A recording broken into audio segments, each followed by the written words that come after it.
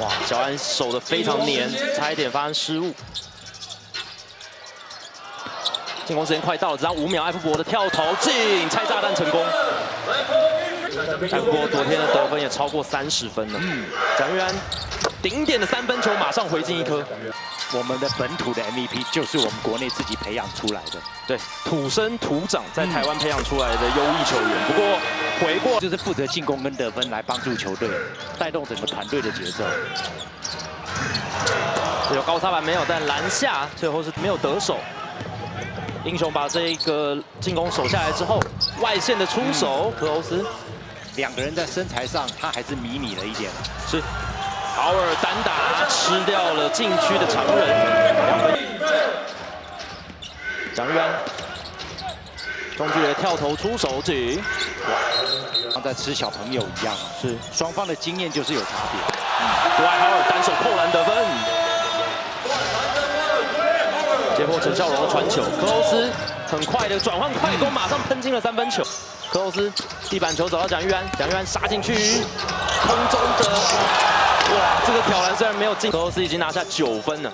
艾福伯传出来，外线的出手，进三分球。林一辉对包夹传出来，林一辉顶点的三分球没进。哇，陈少龙进攻篮板，外线的出手进了一个三分球。蒋玉安胯下运球之后，直接拔起来三分出手没进，拿到球快速的推进，给到左边的 Kiwi，外线的出手偏了，哇，拿下大胜。刚才是让陈孝荣有比较好的出手机会，艾弗伯中距离跳投得分，对外线出手没进，周国轩进攻篮板，再给到李奇伟跳投得分，在国体大综合体育馆也仍然是非常多的球迷到场，大胜的出手戴维斯第一时间去，朱一中。给到大圣，挑篮得分。